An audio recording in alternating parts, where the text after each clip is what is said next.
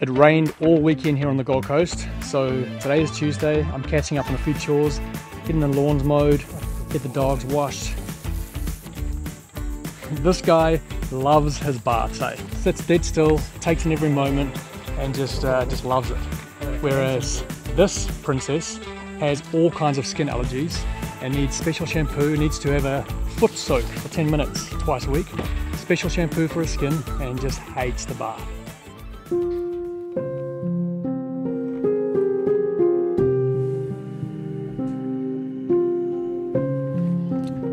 Tell you what, I have neglected this backyard gym. It's time to sort it out. It's time to clean it up. Ah. Oh yeah, looking strong, eh? So strong. Sa.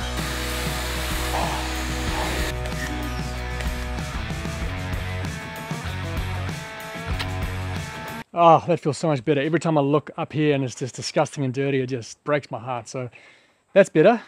The Open's next month. So uh, I've already trained today, but wherever I can, I try and sneak in a bit of extra work. And one of the things that I didn't quite have the volume for last year was toe to bar, wasn't it, buddy? Struggled. So I'm going to put these Crocs in sports mode and quickly bang out a 10 minute EMOM of uh, toes to bar. I'm going to try and just maintain 10 reps every minute. So my otters from Sugar Grips are on. WODProof activate. Yo, they wouldn't let me. Man's gal when I come undress me. Swing with a right, but I might go lefty. I may plus with it, so don't test me.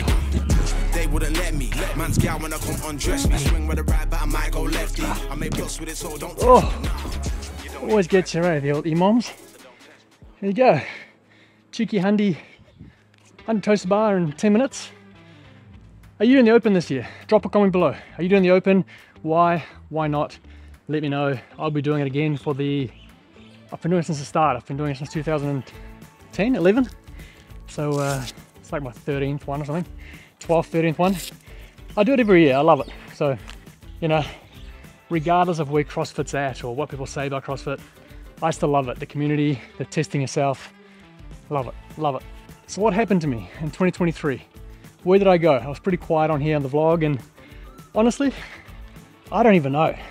I'm trying to figure it out myself. I think I just got over commentating on the sport, you know, like doing the predictions and speculating. Um, I care more about storytelling and creating really beautiful looking videos. And so I think it kind of just, the grind of it all just got too much for me and I just kind of stopped doing those commentary style videos. So coming into this year, I thought, you know what I can do? I can do a five minute vlog most days. You know, that's not very hard for me to produce.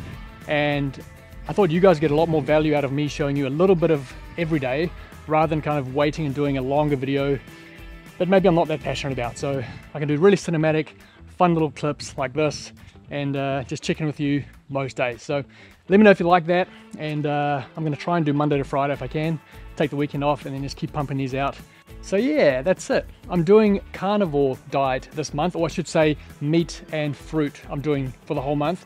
And since the 1st of January, I am down 4 kgs. It's insane. I've gone from 92 kgs to 88 kgs in eight days. So it's like half a kg a day. I'm not saying you should do it.